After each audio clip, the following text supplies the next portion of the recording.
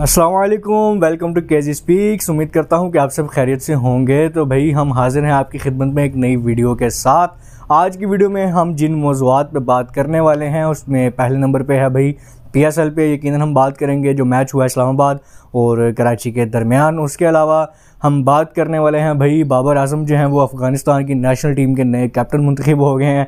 तो थोड़ा जो है वो उस पर नज़र डालेंगे हम। और उसके बाद बी सी सी आई ने जी प्लेयर्स के सेंट्रल कॉन्ट्रैक्ट्स का जो है वो ऐलान किया और उसको लेकर कुछ तनाज़ा चल रहा है कंट्रोवर्सी हुई है। कुछ उस पर बात करेंगे। उसके अलावा आखिर में हम बात करेंगे जी मुल्तान और कोयटा के दरमियान जो मैच हुआ था, उसमें जो है वो कुछ एक मिसबिहेव हुआ था, कुछ क्रिकेटर्स की फैमिलीज़ के साथ, जिसमें आमिर, मोइन खान और उमर अमीन की फैमिलीज़ शामिल थी। तो उस हवाले से जो है वो कुछ अपडेट हमारे पास है तो वो भी आपके साथ शेयर करेंगे। तो पहले आप लोग इंट्रो देख लें, फिर बढ़ते हैं आगे अपनी वीडियो की तरफ़।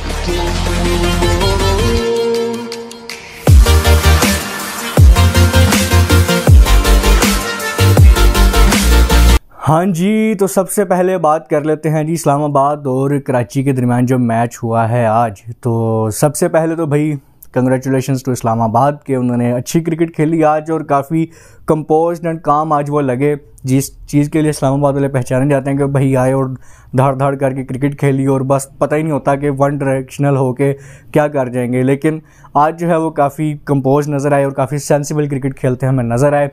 बैटिंग में भाई कॉलिन मनरो छाया बंदा 82 रन की उसने इनिंग्स खेली और काफ़ी अरसे से क्रिकेट से दूर थे, इसलिए जो है वो इस्लामाबाद को उस तरह स्टार्ट नहीं दे पा रहे थे वो, लेकिन दो से तीन मैचेस लगे हैं उस बंदे को फॉर्म में आने में और आज जो उसने खेला है भाई टोटली आउटस्टैंडिंग और ब्रिलियंट नॉक था भाई एटी टू रन का और एलेक्स हेल ने भी उतना ही साथ दिया। 47 रन उन्होंने भी लगाए हाफ़ सेंचुरी मिस कर गए, लेकिन 100 से ज़्यादा रन की भाई ओपनिंग जब स्टैंड ही मिल जाए, आपको तो फिर एक सौ पैंसठ चेज करना तो कोई बात ही नहीं है। एंड में फिनिश किया आके आगा सलमान ने तो वो तो बंदा वैसे ही फॉर्म में लगा आ रहा है। तो अच्छी काफ़ी क्रिकेट खेली उन्होंने और बॉलिंग भी काफ़ी डिसेंट रही और विकेट्स भी जो हैं वो शेर की, नसीम शाह, हुनैन शाह ने और रागा सलमान, शादाब खान तो काफ़ी डिसेंट जो है वो बॉलिंग भी थी। लास्ट मैच भी विन कर सकते थे, काफ़ी क्लोज गए थे पिशावर के ख़िलाफ़, लेकिन वो कह लें कि अनफॉर्चुनेटली उस मैच को विन नहीं कर सके थे। और हाथ में आया मैच जो है वो गवा दिया था, लेकिन आज के मैच में जो है वो उन गलतियों पर उन्होंने काफ़ी काबू पाया। आखिर में जाके थोड़ा लड़खड़ा है कि दो तीन विकेट्स फिर मिली क्विक कराची को, लेकिन एट दी एंड जो है वो आसानी से जीत गए इस्लामाबाद। कराची का मैं अब ज़िक्र करूँ तो भाई, काफ़ी जो है मुझे आज पुअर प्लानिंग लगी उनकी, क्योंकि पिछले जो दोनों मैचेस वो जीते हैं, वो उसी सेम स्क्वाड के साथ जीते थे तो अभी आपको वो स्क्वाड इतना चेंज करने की ज़रूरत नहीं थी। ज़बरदस्ती के चेंजेस नज़र आए। अखलाक जो हैं, वो काफ़ी अच्छा खेल रहे थे, उनको चेंज किया गया और मिडल ऑर्डर में भी हमें चेंजेस नज़र आए बॉलिंग में भी चेंज नज़र आया। तो भाई, बिला वजह के चेंजेस जो हैं, वो कभी नहीं भी समझ आते और वही उनके साथ हुआ। कि बिला वजह की जो है वो चेंजिंग किए गए और कुछ समझ नहीं आया उनको और ऊपर से बैटिंग उनकी वैसी ही जो टॉप ऑर्डर फ्लॉप चल रहा है और शान मसूद जो है और वैसा कोई आगाज़ नहीं दे पा रहे। सबसे लो अगर आप देखेंगे कि ओपनिंग की एवरेज किसकी है, पूरे टूर्नामेंट के अंदर तो वो कराची किंग्स हैं, सबसे लो पे जा रहे हैं भाई और आज भी शान मसूद ने काफ़ी जो है वो टेस्ट वाली इनिंग्स खेली। गो के पिच मुश्किल बिहेव कर रही थी, लेकिन फिर भी सेंसिबल क्रिकेट की वहाँ ज़रूरत थी। इन दी एंड भाई, एक बार फिर पॉली पोलार्ड जो है उन्होंने बचाया थोड़ा इनको आके और साथ जो है इरफानुल्ला खान न्याजी ने साथ दिया। अड़तालीस रन की इनिंग भाई पोलार्ड खेल गया और न्याजी ने भी अच्छी कोशिश की एंड में आके और बॉलिंग में भी बस डिसेंट थे, कराची वाले कुछ इतना खास जो है इम्पैक्ट क्रिएट नहीं कर सके, सिर्फ़ हसन अली और मोहम्मद नवाज़ जो है वो बेहतर बॉलिंग कर रहे थे। बाकी कुछ इतना खास जो है वो मज़ा नहीं आया। और जहाँ इनकी परफॉर्मेंस का मज़ा नहीं आया, वहाँ वही क्राउड का भी मज़ा नहीं आया। इतना पोअर क्राउड भाई, बिल्कुल स्टेडियम खाली था। अब बिल्कुल मुझे समझ नहीं आती कि भाई कराची में मैचेस आप करवाते ही क्यों हैं? और कराची वालों के पास तो हमेशा एक ही बहाना होता है कि जी फिर मुल्क कौन चलाएगा? तो भाई, मैं तो इस दफ़ा ये पूछने वाला कि मुल्क तो वैसे भी नहीं चल रहा। तो भाई मैच देखने आ जाओ। और ना भाई उनकी परफॉर्मेंस अच्छी आ रही है और ना उनका क्राउड आ रहा है। खैर, पहला मैच था, आज थोड़ा हम चलने दे देते हैं। एडवांटेज के शायद नेक्स्ट मैचेस में जब अच्छा क्राउड हो, लेकिन होम टीम भाई खेल रही थी आपकी, कुछ तो सपोर्ट करते। लाहौर और मुल्तान में जो मैचेस हुए हैं भाई ऑलमोस्ट तमाम मैचेस के अंदर जो है वो हाउसफुल मिला हमें और बहुत ज़्यादा जो है वो क्राउड देखने में मिला, चाहे किसी भी टीम का मैच था। तमाम टीम्स की स्पोर्ट में क्राउड आया और मैचेस को एंजॉय किया, लेकिन कराची ने जो है वो काफ़ी आज डिसअपॉइंट किया है। और ये सिर्फ़ आज की बात नहीं है, पिछले हम पी के भी मैचेस देखें, पिछले साल के या उससे पिछले साल के तो सबसे कम क्राउड जो आता है वो हमेशा कराची में आ रहा है। और फिर अगर वहाँ मैचेस नहीं करवाए जाएँगे कि क्राउड कम होता है तो भाई एक ही लाइन होती है इनके पास कि जी कराची और सिंध को दीवार से लगाया जा रहा है। और भाई, अपना बिहेवियर भी तो देखो तो होपफुली कि भाई नेक्स्ट मैच में कुछ क्राउड ही आए और बिस्ती ना करवाएँ, क्योंकि इस बार सबसे ज़्यादा मैचेज हम कराची को ही दिए गए हैं। तो ये तो जी होगी कराची किंग्स और इस्लामाबाद के मैच की बात। पी की अपडेट्स हो गई आपके साथ। शेयर अब बात कर लेते हैं जी बाबर आज़म की। अफ़गानिस्तान नेशनल टीम के भाई कैप्टन मुकर हो गए हैं बाबर आज़म। आज जब आयरलैंड और अफ़गानिस्तान के दरमियान टेस्ट का आगाज़ हुआ तो जो कैप्टन की तस्वीर प्रेजेंट की गई भाई, उसमें आयरलैंड के कैप्टन के साथ अफ़गानिस्तान के जो कैप्टन है, वो बाबर आज़म दिखाए गए। तो भाई कॉमेडी ऑफ़ एरर चल रहा है हर जगह। बाबर जो है, वो लोगों के जहनों पर सवार हुए हैं और टेक्नोलॉजी में भी सवार हो गए हैं। तो वो एक इंसिडेंट था कि भाई, काफ़ी मुझे एक अजीब सा लगा और फ़नी भी लगा। लेकिन, उसके बाद अगर मैं ज़िक्र हो ही गया इनके मैच का भी तो काफ़ी एक अजीब सा ही मैच चल रहा है भाई।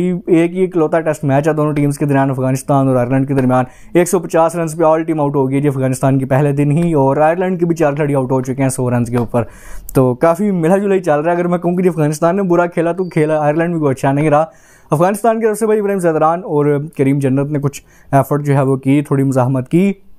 और आयरलैंड की तरफ़ से अगर मैं कहूँ तो मार्केट काफ़ी अच्छी बॉलिंग की, पाँच विकेट्स उन्होंने ली और कर्टिस कैम्फर जो हैं, दो विकेट्स भी उनके नाम रही और बैटिंग में भी 49 रन उन्होंने किए तो ओवरऑल जो है वो मिली जुली ही परफॉर्मेंस थी। आज की दोनों एक ही लेवल पे खेल रहे हैं बुरा तो देखते हैं उस मैच से भी जो अपडेट होगी फर्दर वो भी आपके साथ शेयर करेंगे। उसके अलावा भाई आगे हम बात कर लेते हैं जी बी ने सेंट्रल कॉन्ट्रैक्ट्स का ऐलान कर दिया है, जिसकी वजह से काफ़ी जो है वो गहमा गहमी नज़र आ रही है कि जो बड़े कुछ अच्छे प्लेयर्स थे उनके, जैसे श्रेयस अय्यर हो गए, या ईशान किशन हो गए, भाई, दोनों को ही कॉन्ट्रैक्ट से फ़ारग कर दिया गया है। और इस चीज़ को लेकर काफ़ी जो है वो बातें हो रही हैं चाहे गोइयाँ हो रही हैं कि रिसेंटली परफॉर्मेंस भी दोनों की बहुत अच्छी थी, चाहे एशिया कप हो या वर्ल्ड कप हो जाए।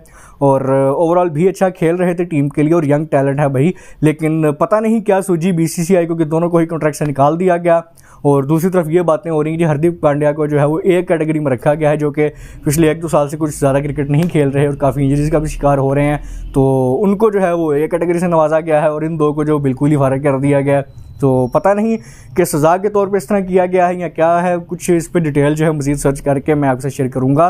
लेकिन जो अच्छी बात थी भाई कुछ यंगस्टर्स जो हैं, नए आए हैं, उनको मौका दिया है। बी सी सी आई ने कुछ नए नाम भी हमें नज़र आए उनके सेंट्रल कॉन्ट्रैक्ट में। तो होपफुली कि इनके साथ भी जो इशू होगा, ये रिजॉल्व होगा। बाकी जो भी अपडेट होगी, इस हवाले से भी आपके साथ मैं शेयर करूँगा। आखिर में अब बात कर लेते हैं जी, वो एक वाक़ हुआ था जी कि डीसी मुल्तान साहब ने को मिसबिहेव किया था क्रिकेटर्स की कुछ फैमिली के साथ और मैं अपनी प्रीवियस वीडियोस में उसको कवर भी कर चुका हूँ और उस पर एक पेशरफ देखने में आई है भाई कि मोहम्मद आबिर ने ही ट्वीट किया है कि जो चीफ मिनिस्टर ने सिलेक्ट हुई हैं मरीम नवाज़, उनका उनसे रबता हुआ और पर्सनली उन्होंने इस मैटर को देखा और डीसी मुल्तान जो है डिप्टी कमिश्नर मुल्तान, उन्होंने भी जो है इस मामले में अपनी वजाहत दी और कुछ जो है आमिर की बात से यही लगा कि जो है दरमियानी मामला हो गया है और कुछ जो गलत फहमी थी, वो दूर हो गई है और बेस्ट विशेज़ उन्होंने सबके लिए कहीं। तो काफ़ी मतलब बेहतर लगा मुझे, खुशी हुई इस बात की कि चलें, कुछ तो इस पर एक्शन लिया गया और जो गलत फहमी थी या जो भी था, उसको कम से कम दूर किया गया। तो इस तरह की चीज़ें भाई छोटी छोटी नहीं होनी चाहिए। पहले ही वैसे मेरी नज़र में ख्याल कर देना चाहिए कि इस तरह की कॉन्ट्रोवर्सी ही क्रिएट ना हो, के बाद में जिसके लिए वजाहतें करनी पड़े, लेकिन फिर भी जो हुआ, बस हो गया। अब ठीक है, मामला बेहतर हुए हैं। तो बेस्ट विशेज़ हैं भाई सबके लिए ही, कि जहाँ जहाँ जो कर रहे हैं वो अच्छा करते रहें। इसी के साथ, अब मुझे दीजिए इजाज़त। आज की वीडियो में बस इतना ही। अपने डर से ख्याल रखें, हमें दो में याद रखें। चैनल पर नए आए हैं तो चैनल को लाइक सब्सक्राइब और शेयर करना ना भूलिएगा। तो मिलते हैं आप लोगों से अब अपनी अगली वीडियो में। टेक केयर अल्लाह हाफिज़। Yeah.